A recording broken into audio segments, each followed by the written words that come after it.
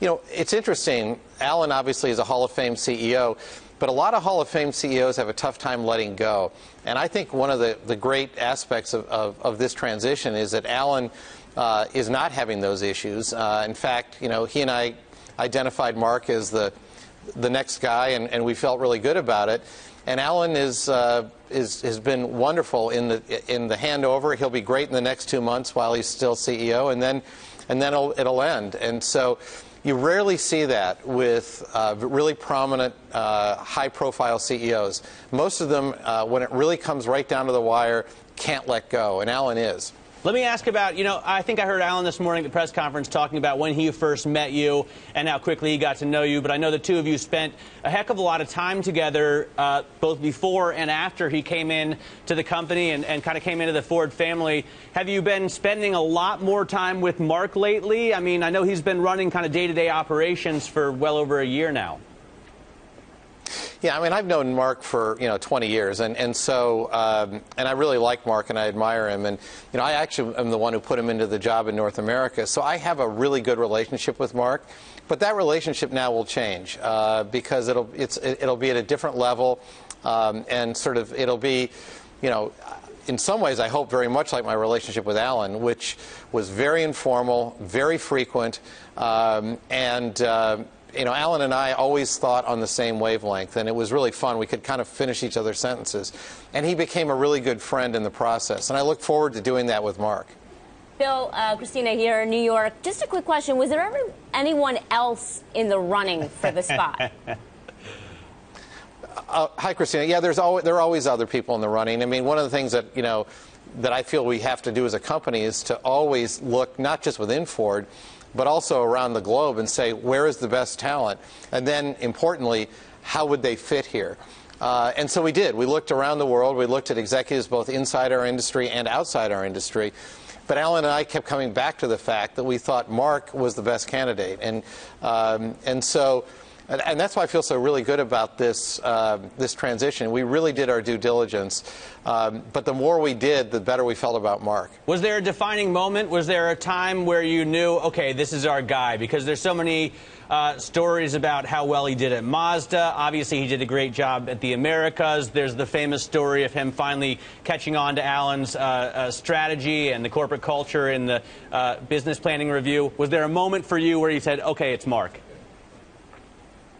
No, there was never really an aha moment. It was really more of, a, of an evolution. I mean, Alan and I talked about it all the time. Um, in fact, we actually started talking about it on the very first day I met Alan uh, eight years ago at my house, where we talked about having a, you know, a great transition, but also having a really good management development process.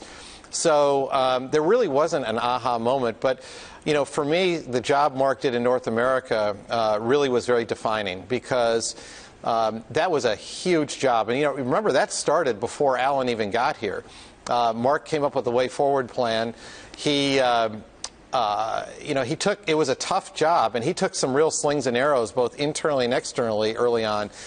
But to his great credit, he grew, he persevered, and I think by the end, I know by the end, had gained the admiration and the respect of the men and women of Ford around the world. So, um, you know, that to me was a very telling thing. Also, a lot of people uh, back then, if you can remember, thought Mark would leave. They thought that he wouldn't stick it out because it was it was a very tough job. But they underestimated how much he loves this company, how much he really loves this industry, and also how tough he is. Bill, this has been telegraphed for some time, but I still have to ask the question about why now? 2014, you guys have said it's going to be a tough year. Why not wait until 2015, make it a little a little easier on the new on the new leader? Because I think uh, uh, Alan and I both thought Mark was ready, um, and you know, and once we both reached that conclusion, there's sort of no point in artificially dragging it out. Um, and so, um, and this is a transition year. We've got you know unprecedented launch uh, activity taking place. We've never had this amount, uh, but it's still going to be a good year for us. Um, and uh, you know, our company's trajectory is a really good one, and one that we feel very good about. And so once we concluded that Mark really was the person, then we went to the board and said, this is our recommendation. We'd like to do this. Uh, and obviously, then they they went along with it. What will we see uh, Mark do differently? You know, I try and think. I know that these two guys spend a lot of time together. I know Mark. Uh, a lot of people say he's one of Bill's uh, acolytes, um, but they are different people, right? I mean, Alan loves the Ford Flex, and Mark loves to drive the Taurus Special High Output. So, um, kind of different car choices. What are they going to be different? How are they going to be different as CEOs? Well, Mark probably won't be hugging people as much as Alan does. Uh, I'm not sure that'd be. I'm not sure that'd be possible. Uh, but uh, no, you know, it's interesting. Uh, one of the things I think we do so well as a company, uh, and really started this under Alan, is deal with reality, whatever that reality is. And Mark will wake up to a different reality uh, the day he takes the job than the reality of the day before when Alan was in the job. And he's going to have to react and make sure our company can react with transparency and deal with reality. And so he will have a completely different set of challenges than Alan faced, uh, some of which we will know now, many of which we, we can't even begin to anticipate now. But I believe that uh, he'll do it with the same level of transparency and the same level of teamwork that Alan attacked the job. What's He's the biggest challenge day one?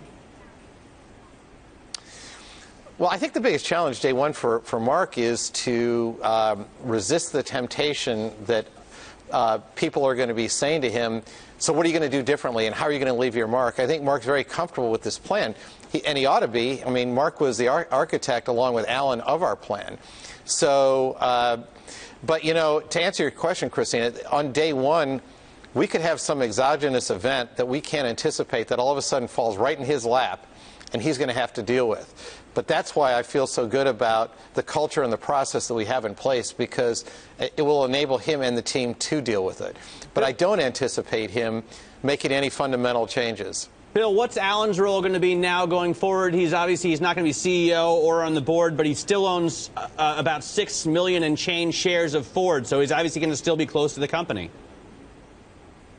Well, yeah, and he'll still be a great friend of mine. I mean, you, you, you know, one of the things that I look forward to is hanging out with Alan um, when this is all over, and also picking his brain from time to time. I mean, you know, Alan and I have really developed a great relationship.